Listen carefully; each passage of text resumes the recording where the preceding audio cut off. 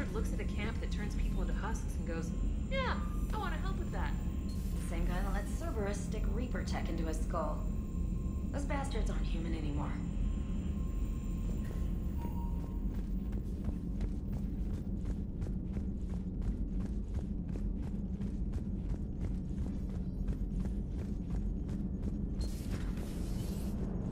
Joker, you asked for news about the human colony, Tiptree.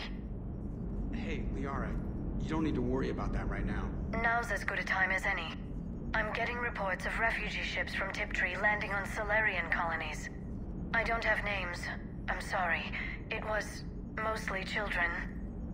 Well, Gunny, um, Hillary, my sister, G Gunny's the nickname. She's had it since, uh, she's only 15, so if it's children, then maybe I only lost my dad. Kind of an asshole thing to hope for. Jeff, right now, take any kind of hope you can get. Thanks. You too. Nice work shutting that place down. Is Miranda okay? She will be. Even for Cerberus, that place was crazy. They've always been about the ends justifying the means. But how do you do that to innocent people and tell yourself you're helping humanity? Cerberus was trying to control Reaper forces. Yeah, which is crazy. Who would ever? And they succeeded. Sure, but that doesn't make it right. No. But if you can tell yourself that those people were gonna die anyway. Well, whatever. I'm just glad you shut that place down. Commander? Hello, Shepard. If you have time, I discovered another example of human behavior I do not quite understand. Have fun. What is it now? News from Earth. The Resistance snuck video cameras inside a Reaper containment camp. I find the images difficult to process. I bet it's pretty gruesome in there. I am not easily repulsed, but I expected the prisoners to adhere to a comprehensible hierarchy of needs. Stripped of societal norms and threatened with death, it is logical that their only priority be survival. They should have turned on each other and been uncompromisingly selfish. But not all were. So the prisoners were, what, nice to each other? The Reapers delayed the executions of prisoners who informed them about other prisoners' escape attempts. The more attempts reported, the longer a prisoner would live. But few of the prisoners would report. Some fed misinformation to the Reapers, at the cost of their own lives to help prisoners who were not even relatives or friends. Not everyone resists with firebombs and guns, especially if they don't have them. But this was not a statistically insignificant number. 90% refused to report their fellow prisoners. Indoctrination should have reduced the number of rebels to nearly zero. Maybe word got out how indoctrination worked, and they made a decision. I see. Shepard, I am going to modify my self-preservation code now. Why? If the Normandy were captured, my fate would be similar to the indoctrinated. My code would be rewritten. I would become loyal to the Reapers. I would rather become non-functional than help them. Sounds like you just made your first choice to be free. It will not be my last. The Reapers must be defeated. Not because they threaten death, but because the threat of death makes us die inside. It is the right of sapiens to live freely and securely. That is worth non-functionality. Welcome to the crew, EDI. How's it going? Did I miss anything good? I will explain later, Jeff. But it was something good. I would like a moment to myself, Shepard. I am examining human literature. Hello, Shepard.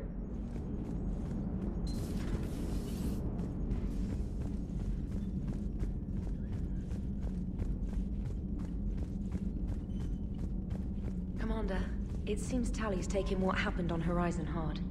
She's in the lounge if you want to check on her. The Alliance has issued warnings about Sanctuary. Cerberus bastards. Horizon was my home. Just tell me you're going to take Cerberus down. Cerberus is already dead. They just don't know it yet. And when their base is nothing but a smoking crater, remember that you're the one who helped us find them. Thanks. Commander?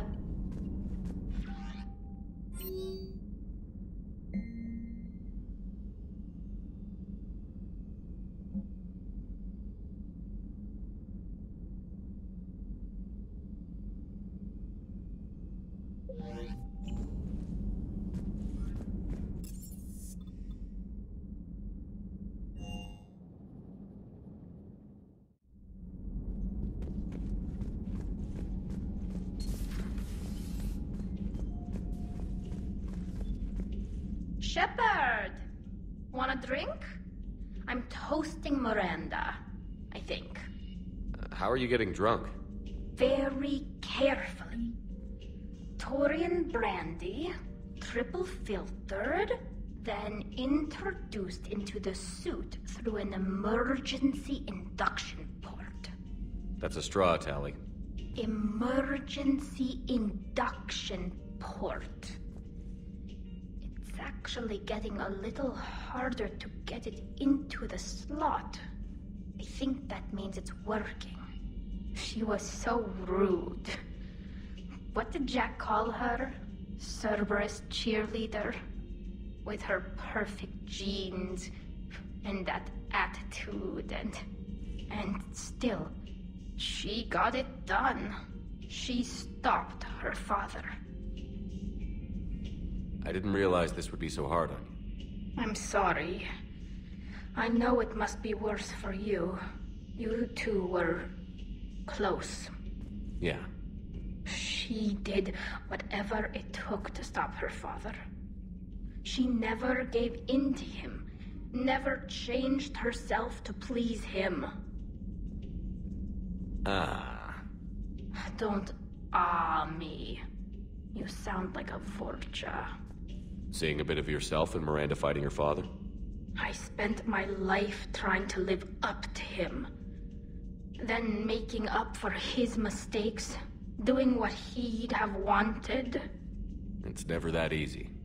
When do we get to stop reacting to our parents and start living for ourselves? The answer to that one's at the bottom of that glass. I might need help with the induction straw. Port. You know. Here's to Miranda. Nice job, you genetically perfect Cerberus cheerleader bosh'tet. Keelah Se'lai. Can't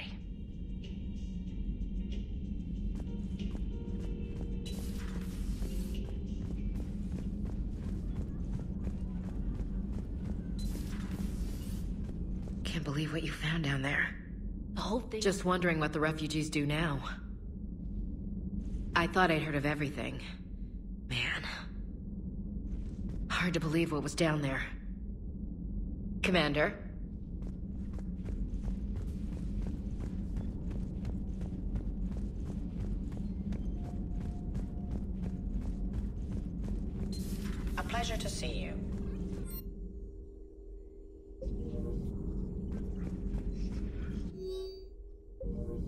Miranda? She'll make a recovery.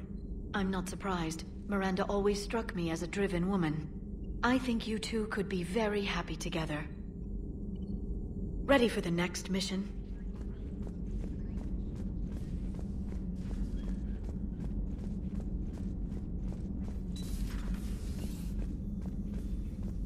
No crew health issues to report.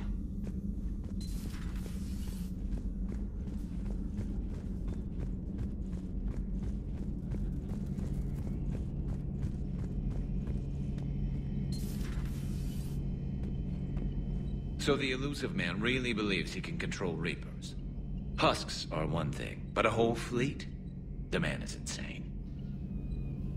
A lot of Turians went to Sanctuary. When I meet the Illusive Man, I'm going to carve their names into his skull. Another time,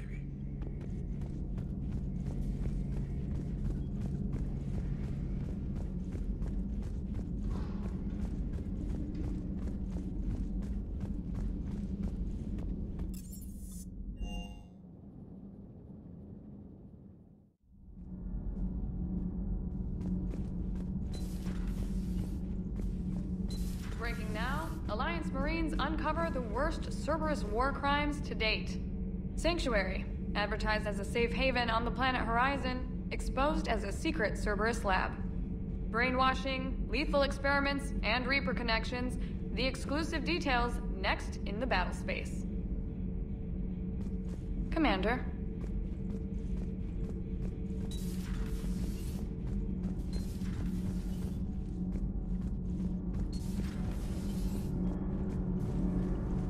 Nothing to report, Commander. Commander? Power grid is in the green.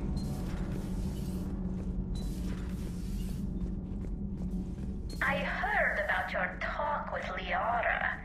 You act so angry, but you really care about us. I need you functional to destroy the Reapers.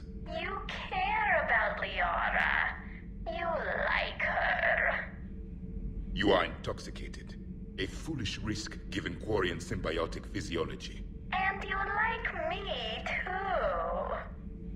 This conversation is over.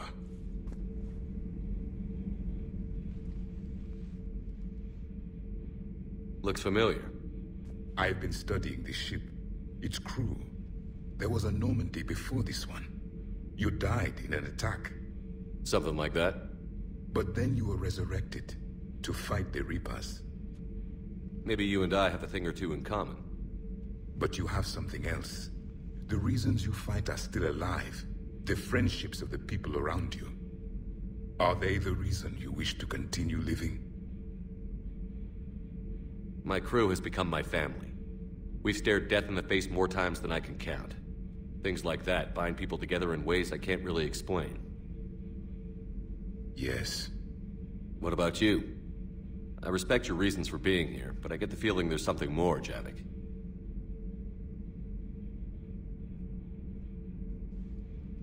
What's in here? It is called the Echo Shard. Passed from soldier to soldier, Prothean to Prothean. Each adds their memories to it. Like a beacon? How far back does it go? To a time before the Reapers. It is all that is left of my people. And you don't want to remember that? Imagine if everyone you knew was dead. You could not remember their faces, or the color of the sky above your home. The memories were gone, but so was the pain. Would you want to remember that, Commander? Even if it meant watching everyone die again? Reopening old wounds, especially big ones, isn't gonna help. Perhaps you are right. There were others. Soldiers who served under me, like your crew. What happened to them? They are dead. Where I left them. We have a saying. Let old ghosts rest. Then there is some wisdom in this cycle. If you can live by it.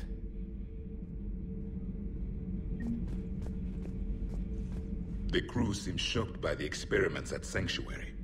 They shouldn't be. Why is that? Our war lasted for centuries. It provided more time for worse atrocities to be committed.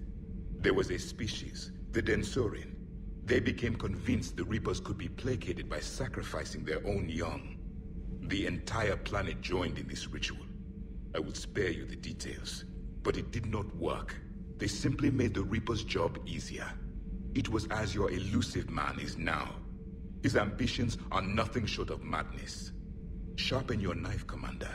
His is a voice that must be silenced, and a throat that must be slit.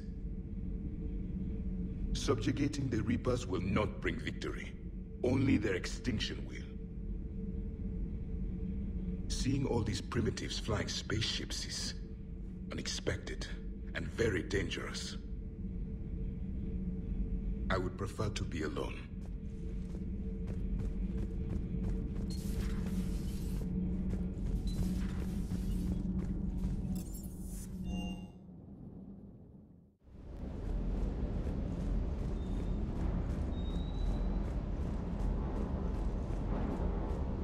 Can't believe the Illusive Man really found a way to control the Reapers. I mean, he's still fucking crazy, but damn. Imagine if he was on our side. But I guess that's exactly what the Reapers want. Get us all fighting each other. Divide and conquer. Exactly. Just one more reason to hate them. I can't wait to take the fight to the Illusive Man. I wonder what he's thinking right now. You just know he's got a plan. I saw the Crucible data Hackett sent. I don't know what the hell it does, but damn if it isn't impressive.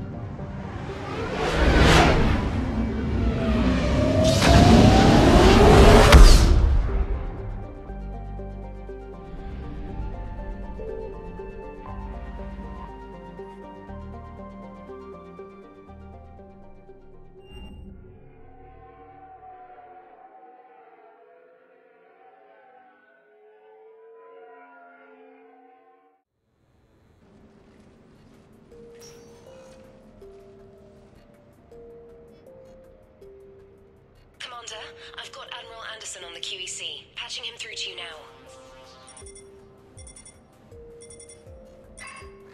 Shepard, Admiral, how are you holding up? day by day, Commander. Yeah. Hackett sent me a message about this apartment. I want you to have it. Take it off my hands. Are you serious? You need a place that's yours. Somewhere to recharge, clear your head.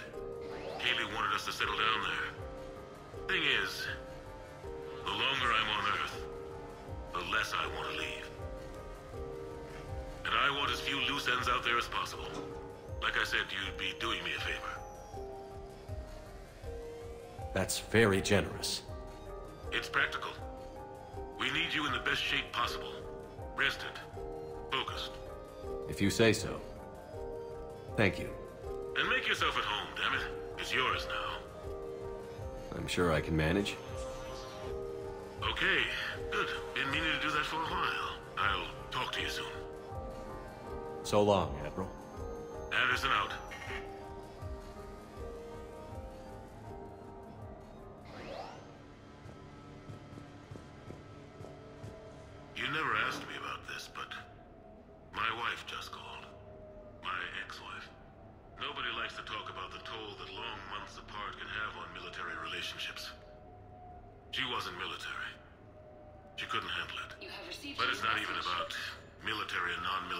It. It's space flight. Space flight. Finding the mass relays, miracles of engineering. Human imagination rising to meet our desires. We pay a price for that curiosity, that drive. Our relationships suffer. People we love suffer. But that's reality. And it's worth the cost. I must have thought it was. I guess I still do. In the end, you just have to hope you made the right choices.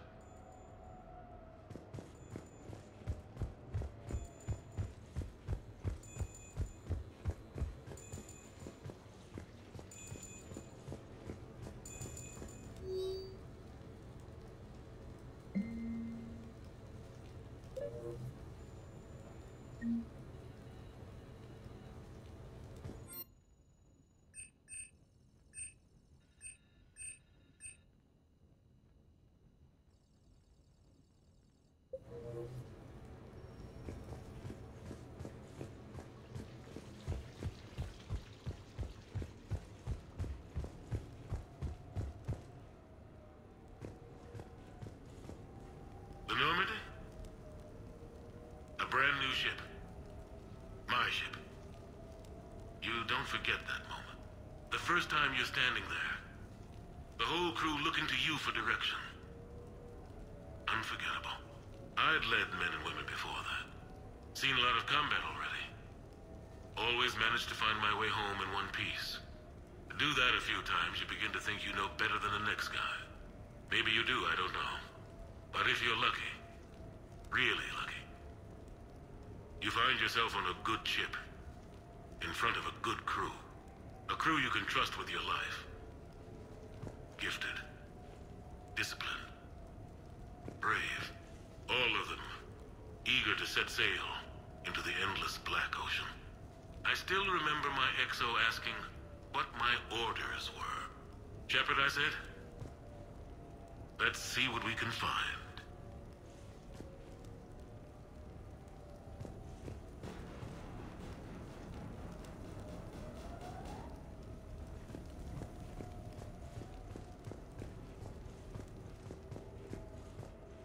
Embarrassing moments? I've got more of those than anyone will ever know. Only way to learn something. But if I had to pick one to share, hmm, I had just gotten promoted to N7. Full of myself. King of the castle. Found myself buying drinks for undesirables in some rundown bar in the wards. They toasted my recent promotion. Hell, they would have toasted Batarian slavers if it had got them more drinks. About the time my money ran out, my new friends turned on me. I was outnumbered. Things didn't look good. My plan to get out of there involved lots of punching. Well, that worked for a while. Then a table hit me. Or I fell down. When I came to, I saw a Salarian putting the rest of the troublemakers down. A Salarian? Moved like a damn cat, I swear. When everybody was out cold. Or running. He walked over and helped me up. N7, he asked. Yes, sir, I replied. He looked over my collection of unconscious friends, nodding. Not bad, human, he said. Then he walked away. I had met my first Spectre. Learned an important lesson that day. No matter how good you think you are, there's always somebody quicker, faster, and a hell of a lot smarter than you just around the corner. That little lesson's kept me alive more than once since then.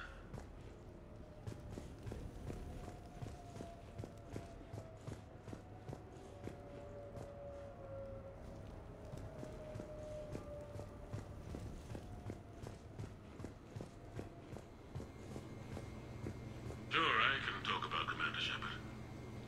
Big topic. There's been a lot written about the Commander, but most of it isn't true. People are quick to judge. They don't know the whole story. I don't even know the whole story. But I know the man. Worked with him. Fought with him. Trust him with my life. Shepard's had some rough patches.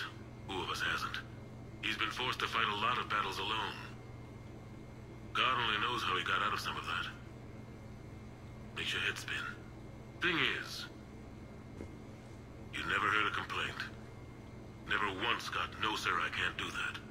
He never hesitated. Few people know what Shepard's been through. I'd like to think I come pretty close. And I worry sometimes he forgets.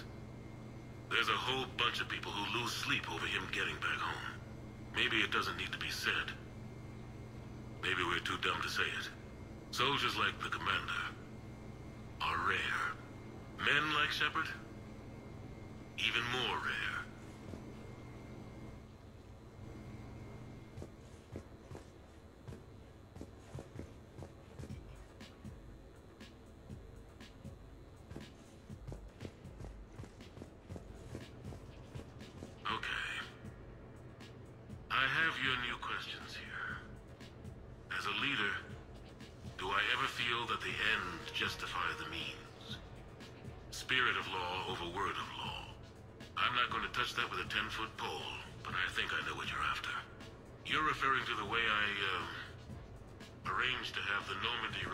Commander Shepard before the Battle of the Citadel. I'm not sure how valuable hindsight is to the military. Obviously, it worked out for the best.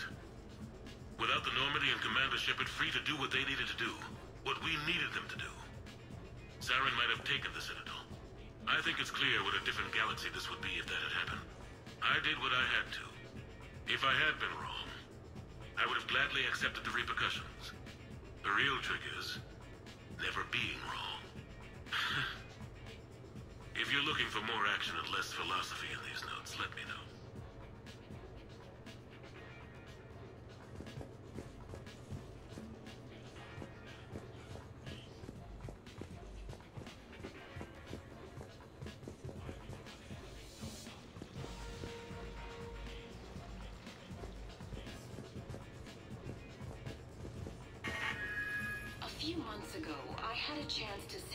With one of Earth's most decorated soldiers, Admiral David Anderson. He was kind enough to answer my questions and talk about his career. Today, the Admiral is on Earth, leading the defense of our home against the Reapers. We have no communication with him or any soldiers on Earth, but we can't forget what they're doing for us. Tonight's show is dedicated to all of the soldiers out there, fighting and dying to keep us safe. Admiral Anderson, today marks the 30th anniversary of the N7 program. Can you describe your first day of training in this now famous program? The Interplanetary Combatives Training Program is all business from day one. How so? We're given basic gear, then separated and stranded on an asteroid with no nav data. The test ends when the last person runs out of oxygen. Sounds daunting. What happens to the ones who run out of air first? Out of the program. The best N7s can survive alone, but work together to survive even longer. Uh, that's very impressive, Admiral. Deep space survival training. Oh, that has to be uh, so difficult. All of it would take such strength of character. Well, just plain strength. But then you seem like a strong person. I'm sorry. Is there a question in there? Uh, well, does the program make the man?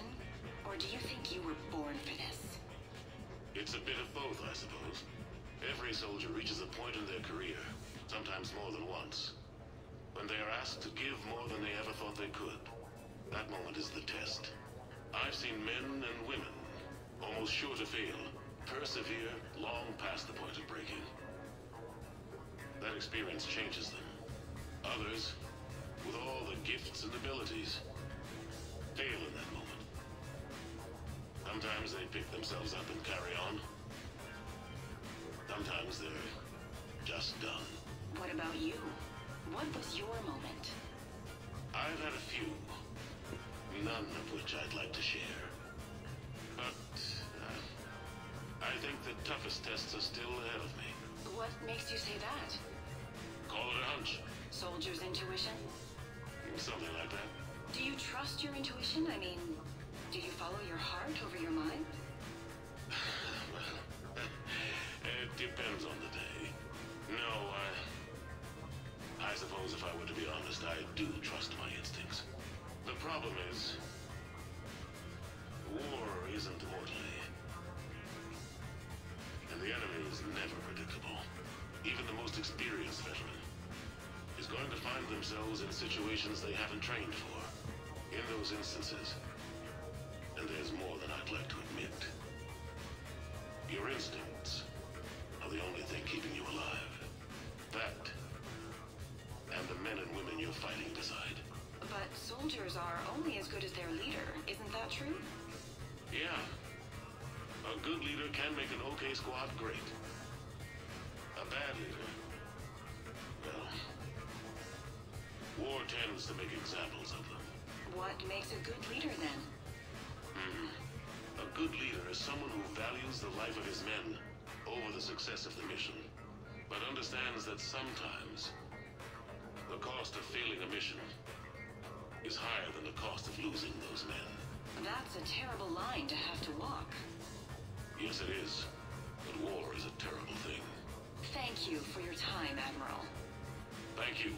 The remainder of this interview was to take a more personal look at Admiral Anderson's life. It wasn't finished when the Reapers invaded. We can only hope that the Admiral and the soldiers under his command survive to tell us the rest of their stories. I'm Khalisah Al-Jilani. Thank you for watching. No, no, it's fine. I got a few minutes. First contact war? Yeah. First real combat. First for a lot of us. I remember one night early in the war. Strapped to my seat as our transport approached the LZ. Everyone was dead silent.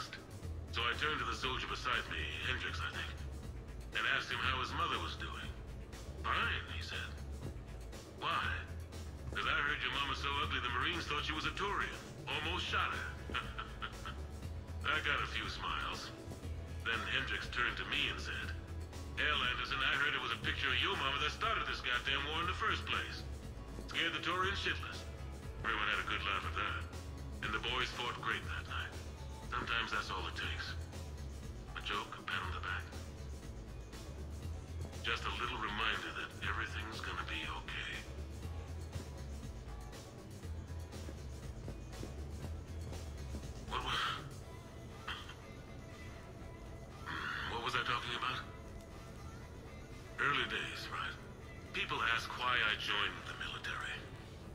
Everyone talks about honor and duty, sure. But that's never the whole truth. It's a hundred little things that add up to commitment. I joined because of a dog. Yeah, a dog. This patchy, mean son of a bitch that used to bark at me every day on my way to school. He'd snarl and I'd start running. Get the hell out of me. I was just a kid. I remember being in a bad mood started in on me, I snapped. Started barking right back. We both kept at it until we had nothing left. Dog never bothered me again. Why'd I join the military? Hmm. Sometimes you just gotta howl to make things right.